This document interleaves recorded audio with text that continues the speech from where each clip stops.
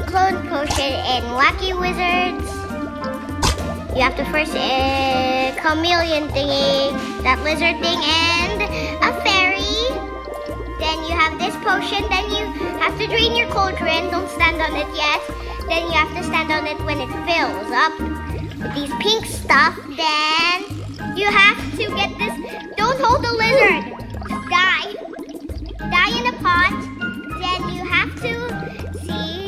You have your username there, you see. Then you have a Lena Victoria your username potion, then put it in a friend or any random people person. They will drink it in suspicions, and there, there's my friend as me.